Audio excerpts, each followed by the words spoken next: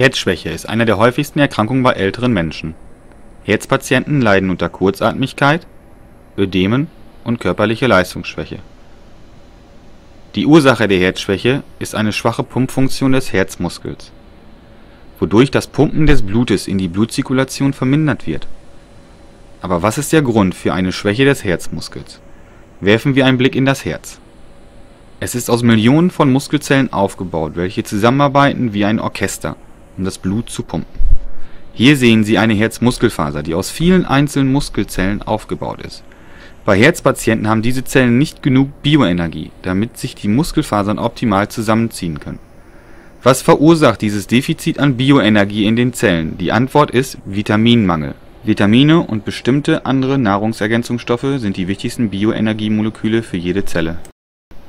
Die optimale Zufuhr von Vitaminen und anderen Nahrungsergänzungsstoffen ist daher der Schlüssel zur Optimierung der Herzfunktion. Die Vitamine, die Sie über die Nahrung zu sich nehmen, erreichen die Herzmuskelzellen über den Blutkreislauf. Innerhalb der Herzmuskelzellen werden Vitamine direkt zu den Kraftwerken der Zellen, den Mitochondrien, transportiert, wo sie als Biobrennstoff benötigt werden.